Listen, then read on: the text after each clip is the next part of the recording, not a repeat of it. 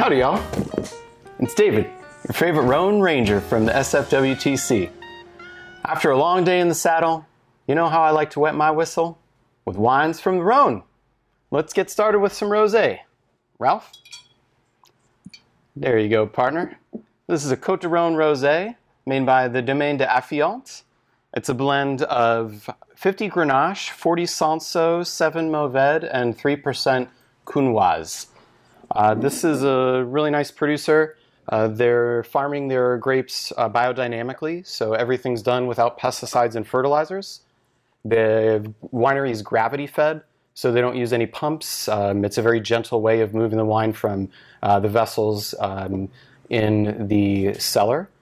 The wine is fermented in concrete and it's bottled without filtration.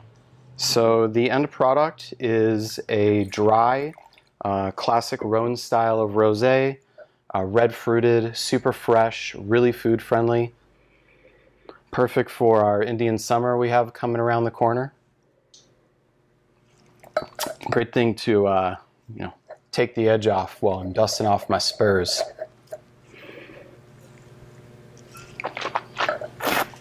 and a terrific value at $15.95.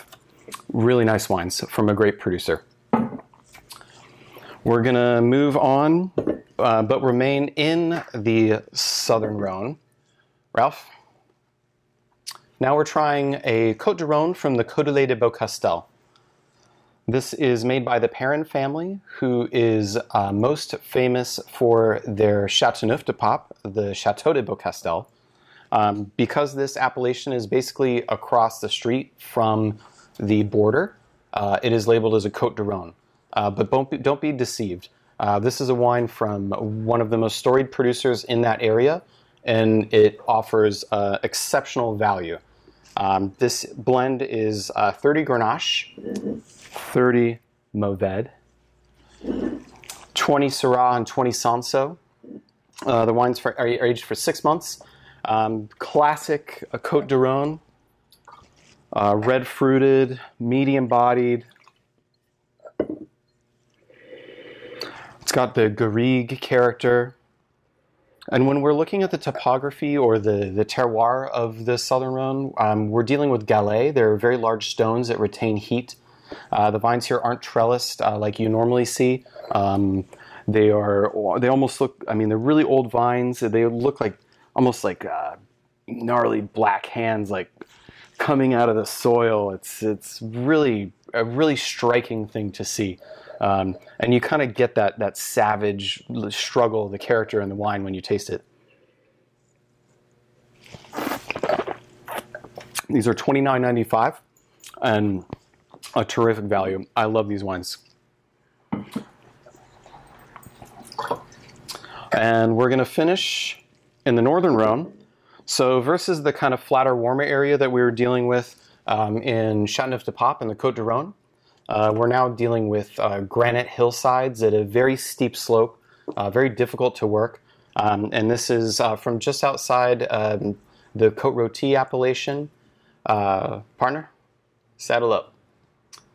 This is uh, the Vin de Pays, the Collines Rhodaniennes. And this is not my first Côte rodeo but it's pretty delicious. Uh, Chambeyron makes the wines um, in a very similar style because, uh, the, again, these vineyards, uh, like the Coudoulet, are literally just outside the border of the appellation. So they leave some of the uh, berries on the stems. Uh, the wines are basket pressed. They're aged in larger barrels, 400 liters, versus others which are typically just over 300. Um, and uh, they're aged for 10 months. So what we get here is a very savory, meaty, dark fruited style of Syrah. We got lavender, prairie fire,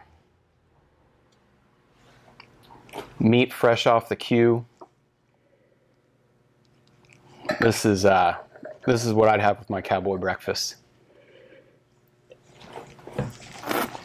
Another wine offering exceptional value because it's just outside the appellation, um, and this is coming in at twenty three ninety five.